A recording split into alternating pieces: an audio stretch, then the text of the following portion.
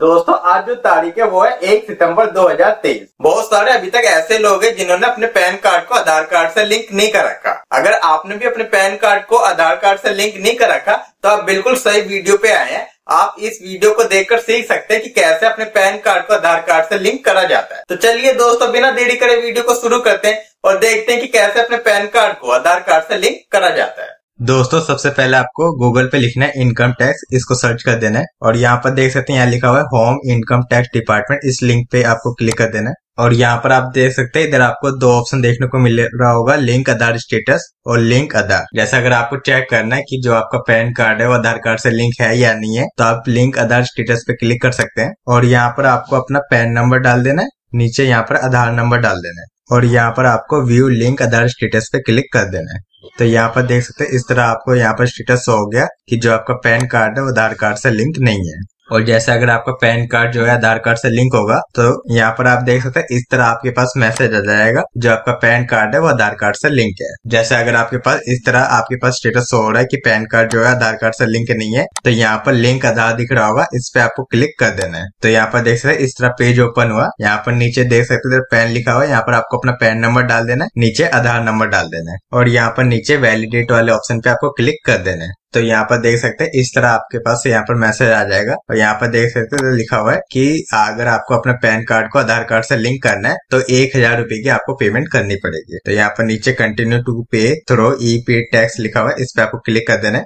और यहाँ पर आपको अपना पैन नंबर डाल देना है। जो पैन नंबर आप यहाँ पर लिखेंगे, वही सेम पैन नंबर आपको यहाँ लिख देना है। और नीचे मोबाइल नंबर लिख देना है। और यहाँ पर नीचे, यहाँ पर कंटिन्यू का ऑप्शन जो है हाईलाइट हो जाएगा। इस पे आपको क्लिक कर देना है। अब यहाँ पर ओटीपी आया होगा। जो मोबाइल नंबर आपने डाला था, उस पर एक ओटीपी आया आएगा ओटीपी डाल के आपको नीचे कंटिन्यू पे क्लिक कर देना है। तो यहाँ पर देख सकते हैं, जो आपका पैन कार्ड है, वो सक्सेसफुली वेरीफाइड हो चुका है। तो यहाँ पर जो आपका पैन कार्ड में नाम लिखा होगा, वो नाम इधर आ गया। और यहाँ पर आपको कंटिन्यू वाले ऑप्शन पे क्लिक कर देना है।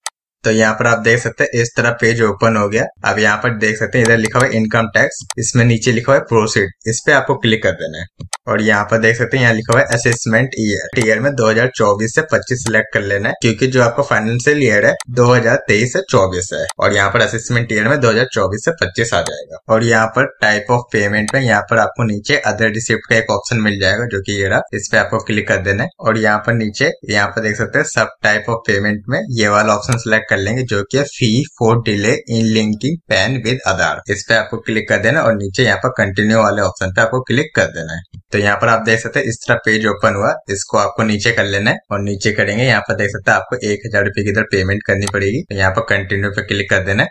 अब यहाँ पर आप देख सकते हैं, इधर आपको पेमेंट करनी है। तो जिस भी बैंक में आपका अकाउंट है, वो बैंक आपको सिलेक्ट कर लेना। अगर आप नेट बैंकिंग करें तो नेट बैंकिंग से सिलेक्ट कर लेंगे। डेबिट कार्ड से करें तो डेबिट कार्ड सिलेक्ट कर लेंगे। जिससे भी आप कर रहे हैं, वो आप सिलेक्ट कर लेंगे। जैसे अगर आप नेट बैंकिंग करें और यहाँ पर कोई भी बैंक शो नहीं करा तो अदर बैंक वाले ऑप्शन पे आप क्लिक करके नीचे यहाँ से आप सिलेक्ट कर सकते हैं, आप अपना बैंक जैसे मैं जो पेमेंट है, वो डेबिट कार्ड से कर रहा हूँ। डेबिट कार्ड पे मैं क्लिक करके, और जो भी आपके इधर बैंक है, उसको आपको सिलेक्ट कर लेना है। और यहाँ पर कंटिन्यू पे क्लिक कर देना है। तो यहाँ पर देख सकते हैं, इस तरह पेज ओपन हो गया। तो यहाँ पर नीचे करेंगे। यहाँ पर पे नाउ का ऑप्शन है। इस पर पे पे क्लिक कर देंगे। तो यहाँ पर आप देख सकते हैं टर्म एंड कंडीशन आ गया। इसको आपको सिंपली नीचे करके यहाँ पर आई एग्री पे क्लिक कर देना है और सबमिट टू बैंक पे क्लिक कर देना है। अब यहाँ पर आपको अपनी कार्ड डिटेल डाल के मेक पेमेंट पे क्लिक कर देना है।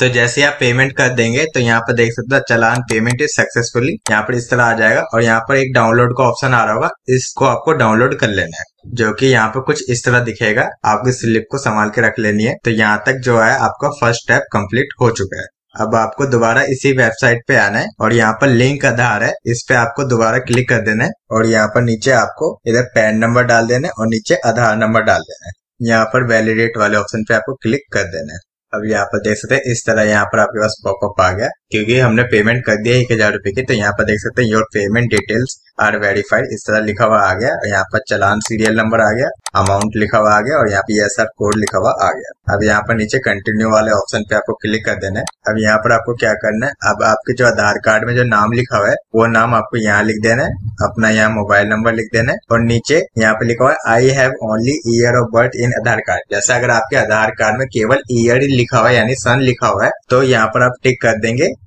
और यदि अगर आपके आधार कार्ड में डेट बर्थ और ईयर लिखा हुआ है, यानी तीनों चीज़ लिखा हुआ है डेट बर्थ ईयर तीनों चीज़ लिखा हुआ है तो यहाँ पर आप टिक कर देंगे। और उसके बाद यहाँ पर लिंक आधार पे क्लिक कर देंगे। तो यहाँ पर जो आपने मोबाइल नंबर डाला था, उस मोबाइल नंबर पे एक ओटीपी गया वो ओटीपी डाल के आपको वैलिडेट वाले ऑप्शन पे आपको क्लिक कर देना है। तो यहाँ पर आप देख सकते हैं, इस तरह मैसेज आ जाएगा। ये और Aadhaar PAN linking request has been received और यहाँ पे लिखा हुआ है please check the status after 48 hours यानी करीब दो दिन का टाइम लगेगा इसको प्रोसेस होने में। दो दिन के बाद आप स्टेटस को चेक करेंगे तो जो आपका पैन कार्ड है आधार कार्ड से लिंक हो जाए तो यहाँ पर मैं ओके पे क्लिक कर देता हूँ। और मैंने दोस्तों आपको बता ही रखा है कि कैसे चेक करते हैं पैन कार्ड का, आधार कार्ड का स्टेटस को। यहाँ पर लिंक आधार स्टेटस पे क्लिक कर देना है। वही आपको अपना पैन नंबर डाल के, आधार नंबर डाल के व्यू लिंक आधार स्टेटस पे आपको क्लिक कर देना है। आपका जो पैन कार्ड का स्टेटस है, वो शो हो जाएगा। तो दोस्तों, अब आपने देखा कि कितना आसान है अपने पैन कार्ड को आधार कार्ड से लिंक करना। अगर आपको ये वीडियो पसंद आई हो प्लीज़ इस वीडियो को लाइक कमेंट शेयर और सब्सक्राइब करना ना भूले। यदि अगर आप चैनल पर नए हैं प्लीज़ चैनल को सब्सक्राइब कर लीजिए, क्योंकि ऐसे यूजफुल वीडियो इस चैनल पर आपको मिलती रहेगी